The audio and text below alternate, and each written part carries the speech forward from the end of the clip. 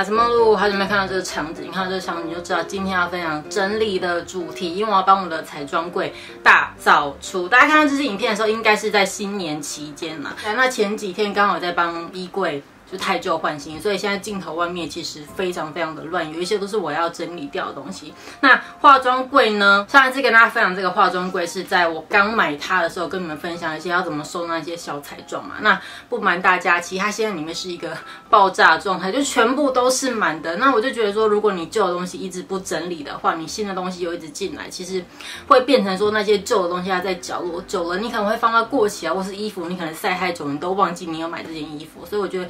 适时的帮自己的空间整理一下也是蛮好，就你整理完之后会觉得说好像整个人轻松很多这样，所以今天我就要来帮我的化妆柜整理。那其实我已经陆续整理了几箱，现在看到这一箱吗？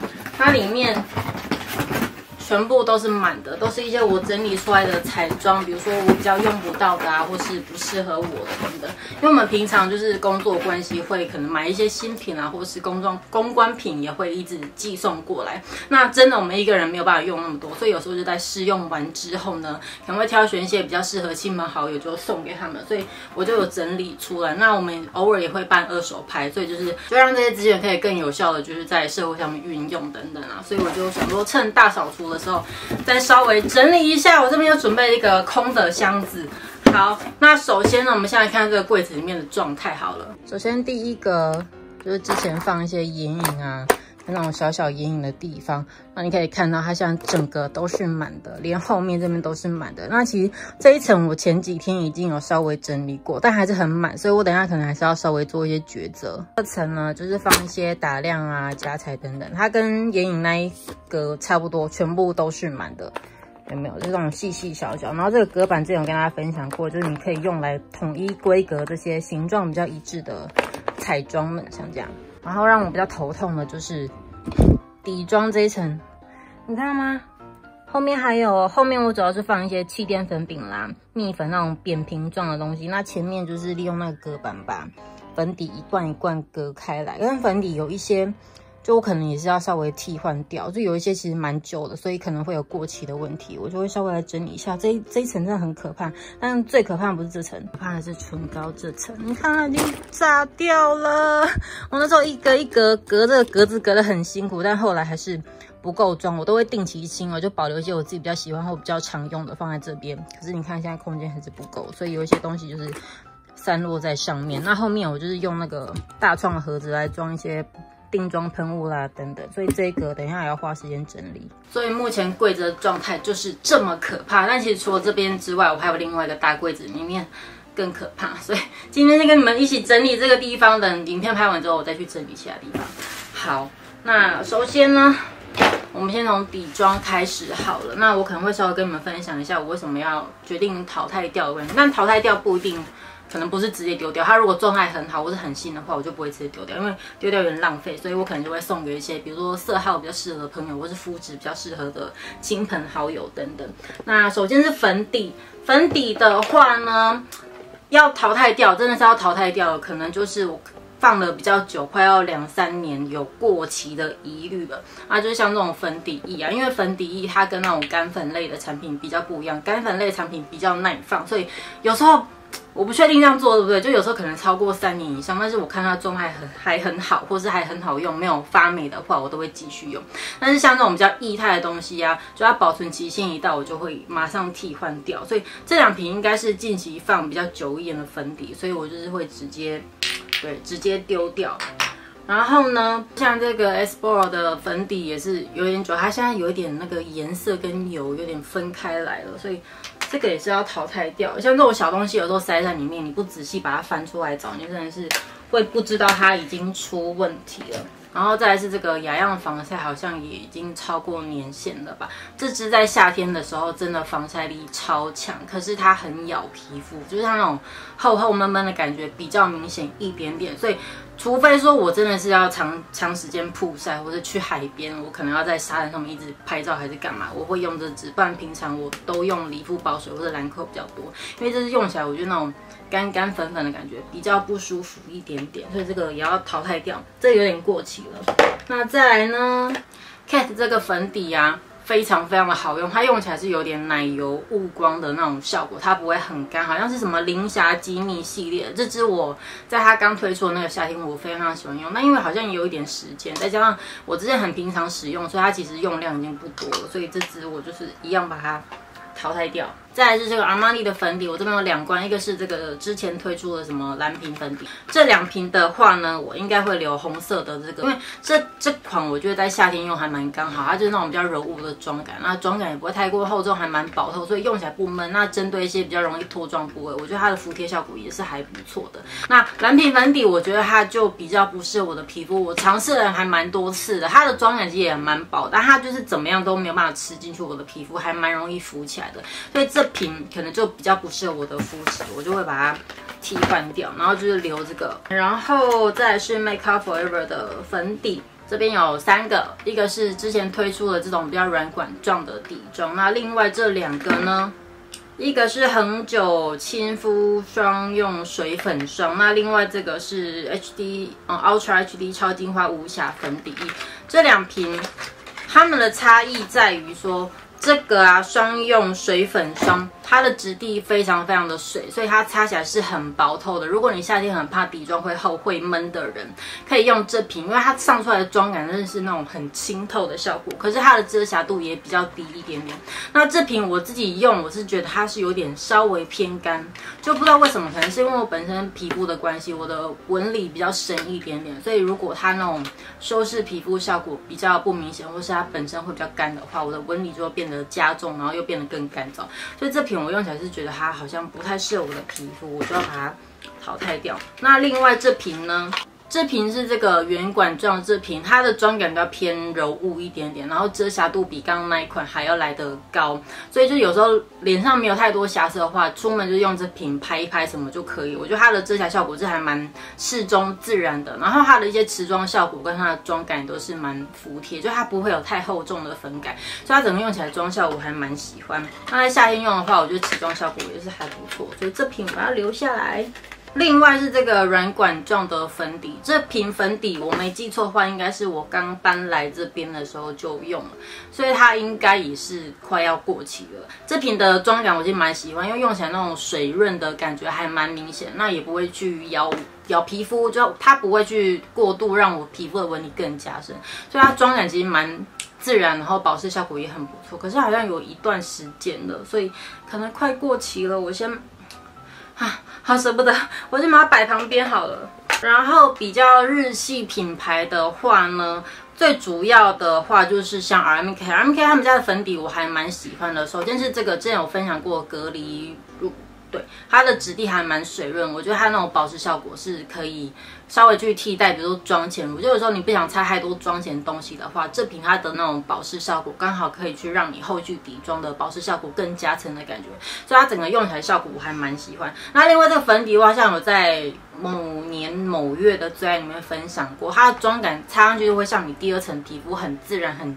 漂亮的效果，但它呈现出来那个光泽，就会让你的皮肤好像看起来很好、很透亮。所以这两瓶其实用起来我都还蛮喜欢。他们家的底妆就是有一种默默。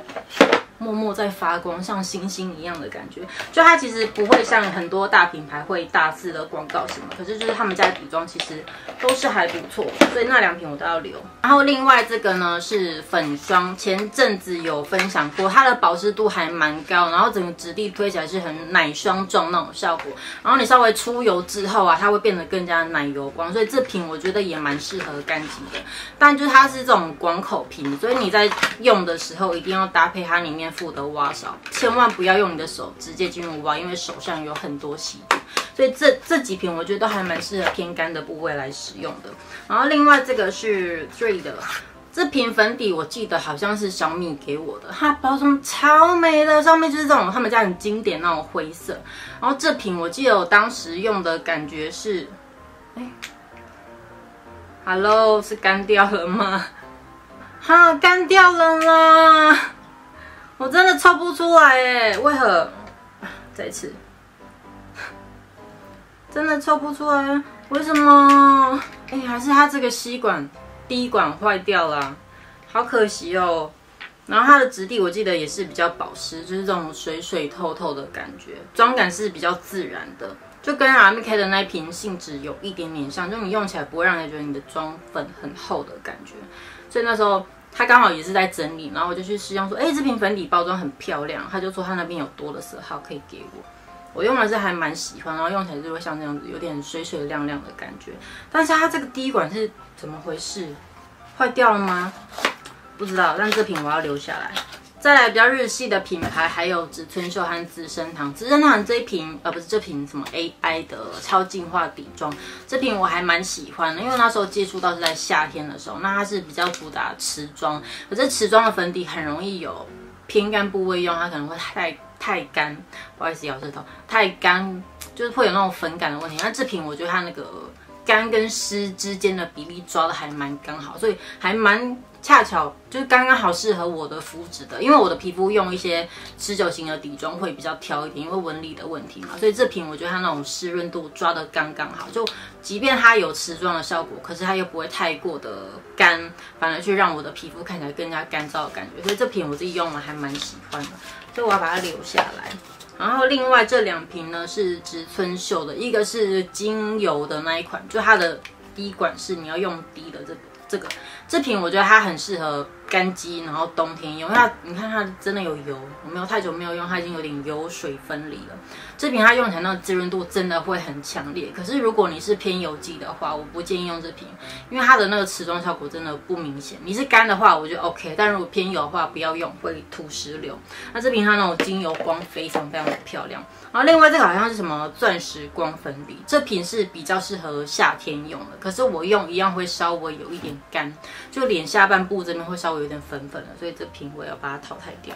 然后在这个蓝呃不是娇兰的粉底，这瓶我不喜欢，我用了好几次，因为它刚出来的时候它造型超级漂亮，没有像一个艺术品摆饰品一样。可是我用好几次，它都是会浮起来，它就是没办法吃进我皮肤，所以我想说这瓶的质感不是，他说它的妆感跟它的性质可能不太适合我的肤质，所以虽然说它长得很漂亮，我觉得是。很有收藏的价值，可是底妆说真的，真的要适合挑选适合你自己皮肤的，最不适合的你就要勇敢的断舍离，不然你真的会越积越多。好。雅诗兰黛啊，还有迪奥的这瓶保湿，呃，迪奥这款它有出雾面跟比较保湿款。那保湿款我觉得跟雅诗兰黛这款用起来的感觉还蛮像，就是那种半柔柔奶油光的效果。所以我觉得对于偏干肌来讲，在冬天都是还蛮友善。这两瓶我都很喜欢，所以我都要留下来。再来一些欧美欧美品牌的话，还有 NARS 这个极也是极光焕颜粉底液嘛。这瓶呢，我冬天用不行，可是我夏天用可以，因为它的妆感。当你遇到你出汗出油的时候，它变成一个柔雾光的效果，我觉得还蛮漂亮，然后持妆度也是还不错，所以这瓶很不错，我要留下来。然后另外的话呢，兰蔻这个应该是零粉感超持久粉底液。这瓶我也蛮喜欢的。然后，如果你是偏干肌的话，妆前保养乳液的部分记得换成精华油，因为精华油再去贴合它这个底妆，会吃吃妆会吃得非常非常的漂亮，就真的会完全没有粉感，很像你天生皮肤，然后又很透亮那种效果。所以这瓶的妆效我也很喜欢。我这第一瓶已经快用完了。那这个 YSL 这瓶粉底液啊，我不行，就我用了好几次，因为它包装说真的很漂亮，然后我又有点。外貌协会，我就觉得说她长那么漂亮，我应该要给她一点机会。可是我用好几次，它就是 就是会浮，就是会干，所以它不适合我的皮肤。这一点我觉得还蛮可惜的。好，又可以淘汰掉了。再来呢，就是一些粉类产品的部分，真的有很多粉饼和蜜粉。那这种粉类东西真的用很慢，因为皮肤太干，就有时候没有办法用太多粉，所以就是。我可能会精选一些我比较常用，它被我翻牌次数比较多的留下来。那因为我真的担心影片时间太长，然后讲半天我这边还没有整理完，所以我现在先快速的整理过后，我再跟我再拍这边的状态给你们看。这样好，终于正式进入到唇膏的部分，唇膏真的是。乱糟糟的，我一支一支试吗？我决定先用品牌来分类，先从开价的开始好了。首先是 Maybelline 的唇彩，就其实他们家的颜色我觉得都很会调，很厉害，所以不知不觉就会留很多颜色。可是一直这样留也不是办法，我们现在抉择一下好了。首先是这个雾面的这个唇釉，这款唇釉它主要是持久，可是它会稍微比较干，然后比较显唇纹。但如果你本身是对于雾面唇彩，接受度很大的人，我觉得这款唇彩是可以驾驭的。那如果你比较怕怕干的话，就是稍微打一点点唇部打底再使用会比较好。那如果硬要挑一支比较要淘汰掉的，应该是这支吧。它是一个比较稍微偏玫瑰色的感觉。那如果橘色跟玫瑰色比较起来的话，我一定是用橘色调的唇膏比较多。所以一三零这支我就好努力的舍掉。那这两支呢，它们分别是二一零和一三五。二一零它稍微比较浅一点点，然后那种。白加了奶白的感觉比较明显，所以这支我觉得，哎，这样看起来会觉得它好像比较挑肤色，哎，就我猜好像会有点显黑的感觉，会觉得这个颜色有点浮浮的。但是这个一三五正宗的南瓜橘棕色，这支就是很漂亮南瓜色，所以这支我也要舍掉，我只留一三五南瓜色，太好了。好，再来是唇膏的部分，他们家唇膏颜色都很会调，我真的是很难抉择。先来看这两个罐子比较像的，好了，就瓶子比较像，它应该是同一个系列，就前阵子推出那个枫叶色系列，一个是五一八，一个是二一四。那我记得这两个都是啊啊发霉了啊！哎，我刚打开来看，我发现。它这个唇膏上面长了好多小毛哦，我拉近让你们看，有看到吗？那唇膏面上面全部都是小绒毛哎，这是发霉了，对不对？天哪！所以二一四这支啊发霉了，不能弄。可是我记得这支好像是比较近期的产品啊，怎么这么快就发霉了？那另外这支呢？这支五一八好像这支好像也发霉了哈，这两支很美哎，怎么会这样子？所以我跟你们说，如果你们彩妆很多的话，一定要定期拿出来整理，因为我还蛮意外，这两支都是比较应该是这半年内的东西吧，然后就啊发霉了，你看这么美的颜色发霉了，哼。然后另外呢是这个八八八八八八好像也发霉了哎，为什么啊？那个八八八颜色好美哦，就是一个比较偏呃肉桂玫瑰的颜色，这个地方。为什么？再来这支呢？它是那个之前有一个跟西柚砖红同一同一票出来的那个颜色，好像叫什么焦糖什么东西的。拜托不要发霉，拜托拜托。哎，这支没有发霉，所以刚那两支是怎么回事？这只它的状态很好，你看它没有长毛，所以它。这只就是那种比较土色调，那时候土色调刚开始在流行，就出了这只专柜的调，呃不是专柜，就开价调色，很多人在抢这只，有没有？这只很漂亮，它没有发霉，太好了。好，再来一样是开价唇彩霸主之一的 L'Oreal，L'Oreal 它除了还蛮多系列，然后基本上每个系列里面都有很多热销的颜色，我大部分都是留我自己比较喜欢的颜色，或是那那阵子比较流行那个颜色，那整理出来其实也不少。好。那我们先来看这个火箭筒好了，火箭筒其实它的质地真的很滋润，它很适合很害怕唇膏会干的人来使用。可是说真的，它这个外形真的是之丑的，它真的很丑，我真的很喜欢这个设计。就其实他们家的其他设计都还不错，还蛮简约。那做这个火箭筒，我就不知道为什么一定要稍微刷给你们看。好，这三个从后面贴纸看就知道是我痴心会喜欢的那种颜色，像这个九三零啊。它就是这种比较偏红枣色、枣红色的感觉，很适合秋冬的感觉。然后它质地就是很滑顺，这样子很好抹。但这个颜色的话，就是它要搭配比较完整的妆，你才不会显病态。再是九三二，九三的我好像用比较多。九三二比较偏中药色的感觉，这个颜色我记得它刚出来的时候还蛮多人喜欢的。这个颜色很漂亮，带橘一点的那种色调。擦起来还蛮衬托气色的，然后另外这个九三四呢是稍微比较偏红，红感比较明显一点的颜色哦，它就是那种橘红色，稍微亮一点，加了一点新鲜番茄红的那个颜色，没有这个感觉？其实这三个颜色都很漂亮啊。我决定舍去九三零，就是这个枣红色，因为我好像比较少用到这种颜色。再来就是我的唇色比较没有那么红润，我擦这个颜色看起来会有点病态，所以可能比较不不那么适合我。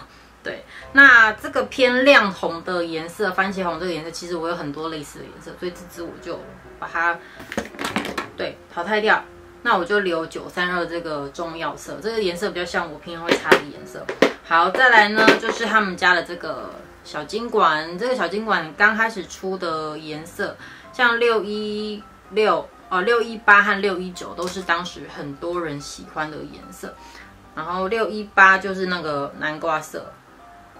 很漂亮的一个南瓜色，这是我当时超级喜欢的。然后六一九是一个比较偏枫叶红的颜色，一个偏橘，一个偏红。那这两个颜色都很美，但是它们是不是稍微有一点点时间了啊？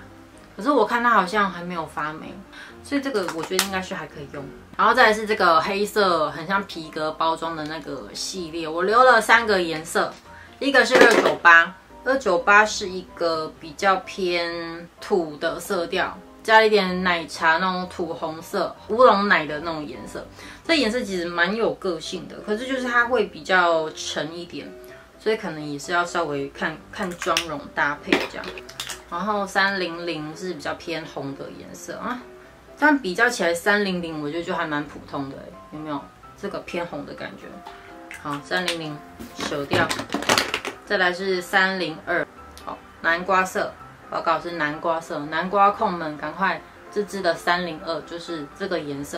然后这一款它的妆感比较偏丝绒奶油光那种效果，它不是全雾面的，哦所以我觉得它做像这种稍微偏土或是偏南瓜色的那种光泽感跟发色度都是还蛮漂亮的。好，再来是比较韩系唇彩的部分，一样都是比较开价的品牌。首先是这个培丽佩拉的染唇露。这系列还蛮多人喜欢，因为它真的很持色，所以我当时其实买的买了蛮多颜色。那最后保留下来的是六号和七号。七号是一个比较偏粉的玫瑰色，这个颜色我觉得还蛮俏丽的。可是就是他们家的这个唇露放久了会有一个问题，就是如果你没有先把它摇匀的话，你在涂抹的时候会发现说它会有一个很像黑黑的东西，你看吗？这个地方。就它的颜色会有一点不太平均，不知道它里面颜料还是它的那个油跟颜料分开的的问题，所以它就会有点黑黑的。那这支我记得一定有超过三年以上了，所以另外这个颜色也是，就液态的东西过期就不要再用。然后另外这个是比较空气感的那个系列，我记得我有拍过他们家的唇彩试色。然后它是一个很漂亮的玫瑰红的颜色，可是它红不是很亮红、很俗气的红，它是有一点柔柔色调的那种感觉，所以这支颜色薄擦我觉得还蛮温柔的，还蛮漂亮的。然后另外他们家的这个唇膏，我那时候试色里面一样有介绍，然后我好像自己留了三五七吧。你看它的包装很可爱，对不对？它的包装那种雾面，然后每一个颜色都不一样。他们这系列包装我觉得做的质感是很不错的。三套是一个比较偏淡的颜色，非常非常的淡，它很像一个那种水蜜桃奶茶的那种味道。这个颜色我觉得擦起来还蛮有个性，但就是它会比较挑肤色，比较适合可能偏白肌，然后中间肤色你的底妆要干净。它虽然说是淡的颜色，可是我觉得它擦起来还蛮有个性，它不会让你觉得很甜，因为它还是稍微有点那种奶茶土色调感，所以这支擦起来蛮有个性。然后五号好像是一个比较偏。橘的茶玫瑰色，五号超美。就我记得那系列里面，我当时好像讲到说五号应该是非常非常实用的这种偏橘的茶玫瑰色。怎么办？这三支根本就不需要拿出来，因为都很漂亮啊。那七号的话就是一个。比较枫叶的颜色，但是稍微偏橘的枫叶色，就这三支其实都很漂亮哎。我决定他们家的唇彩这三支我都要留下来，因为真的太漂亮，然后它的质地也不会太过的厚重。这个是 Lily by Red，它在屈臣氏韩国屈臣氏 La La La 里面可以买得到。然后我好像只留了一个颜色，因为我觉得它包装非常的可爱，就是那种很。很街头可爱那种感觉，但是我记得他们家的唇彩用起来会有点粉粉的，就一样都是这种比较丝绒状的质地，可是就是它没有办法去很平整的服贴在你的嘴巴上面，所以可能刚好不适合我的唇部状态啦。就这支再放它也是过期，我还是不会拿出来用，所以就是啊，舍去。再来呢，Too Cool for School 的这个什么华丽布朗女士的这个雾面唇膏，我也留了两个颜色。这两个颜色我记得都是我当时非常非常喜欢的哦。这个颜色很像刚刚佩丽佩拉唇膏的那个三号色，就是那种很淡的偏橘的那个奶茶色。就擦起来很有个性那种颜色。就以以开价来讲，这个调色都是还蛮少见的。然后另外这个是三号，三号好像是我当时非常非常疯的一个颜色，一样是偏橘的那种烤焦烤奶色，这个颜色也很漂亮。另外这两个是 Clio 的高跟鞋唇膏，这这唇膏超喜欢的，尤其是那个九号色，九号是之美的一个烟熏玫瑰色。所以有时候你的妆很淡，你可能就画眉毛跟底妆，那你的嘴巴如果擦太红或者太涂，会感觉很突兀嘛。但九号这个颜色，它就是正好适合你在淡妆的时候擦的一个烟熏玫瑰色，又不会太粉，又不会太红，就恰到好处，一个很温柔小姐姐的颜色。这支真的超实用，所以这个一定要留。然后另外这个八号，哎哎，是发霉吗？嗯，好像没有。八号好像也是稍微偏淡的颜色。没有，就跟那个 Too Cool for School 的这个唇膏有一点类似，都偏淡的发色。可是这支这样比较起来的话，我觉得 Too Cool for School 的这个调色比较漂亮一点。所以这支啊，怎么办？要留吗？好漂亮，但是其实也很漂亮哎。嗯，我先保留，我等下来抉择一下。这支好像也是高跟鞋系列，我当时去韩国买，然后它是二十一号，比较偏。烤焦红色的感觉，就比较冬天的颜色，有没有？这支颜色擦起来很霸气哦，它不是正红色，所以它擦起来不会很俗。它的那个红还蛮沉稳的，所以你整个擦上去气场很足够。这支也很美，可恶。然后另外两支是比较圆管雾面的这个系列，这系列我记得我当时很喜欢，然后我买的是零六和零九号，这个是。零六号，零六号的颜色比较深，然后零九比较浅。我记得它们色调非常非常的像。然后零六啊，它那个烤焦的颜色比较明显，妆感也是偏比较丝绒的效果，雾面的感觉没有？就这个调色很优秀，很漂亮，擦起来还蛮有气势。它有一点偏土色调，可是还没有土色调那么的奶，那么的不不显气色的感觉，因为它偏那种橘红肉桂颜色还是蛮明显。就那种烟熏辣椒颜色，我觉得这支还蛮有个性。那另外这个九号呢，好像比较淡。对耶，九号比较淡，九号会比较挑人擦，我觉得比较白皮肤限定，有没有？这个是六号，这是九号，九号就偏粉，然后白色调比较明显的感觉，所以九号我要舍弃它，比较不适合我。好，那唇彩的部分就差不多整理成这个样子，这些是刚刚抽掉的纸盒们，所以。大部分都放置进去了。那我刚刚算了一下，唇膏这边可能有两百支，最少两百支，然后不包含镜头外现在地上很杂的这些东西，我还没有收进去，所以唇膏真的很可怕。我觉得需要花非常多时间整理，但今天应该是整理不完，因为慢慢的要天黑了，我担心等下光线不好了。就今天就大概先这个样子，我会慢慢把它们整理完，然后等全部都整理完之后，我会再记录一个画面，让大家。看这样子，好，那过年要到了嘛，就不管大家有没有大扫除的习惯，有收集彩妆人，我当然都会建议大家就是。找时间像这样子慢慢一个一个把它翻出来，看它有没有过期，有没有变质，需不需要丢掉。主要是需要整理一下，因为毕竟都是用在我们脸上的东西，所以我觉得关于保存这部分还是要仔细一点比较好，好不好？那你自己收干净之后看的心情也比较开心嘛，对不对？好，那以上是今天影片。那在新年期间，当然是也会希望大家就是新年快乐，然后可以趁着年假期间好好的休息，好好的陪伴家人这样子，因为一年就难得这一次嘛，对不对？好，那以上是今天影片，大家喜欢。如果喜欢今天的片，别忘了喜欢加订阅。那我们下次见，我继续去整理啦，拜拜。终于都收完了，整齐整齐，已经淘汰掉很多，但还是很满，所以东西一定要定期整理比较好。打彩柜的部分，以及进展比较明显的底妆区，它其实后面还有很多空间可以放，就稍微都清掉一些了。再来是非常非常有成就感的唇膏区。非常非常的多，然后后面有加盖，但是因为这个板子跟之前买这个板子不太一样，所以就有点不太整齐。我之后可能会再找时间重新买这个板子，再重新做一些隔层的。但至少就是把自己比较喜欢的唇膏，他们都有自己的家可以放进去，就像这样子。那后面一样是放一些定妆喷雾啊，跟一些可能唇彩盘之类都收在后面，整齐整齐整齐。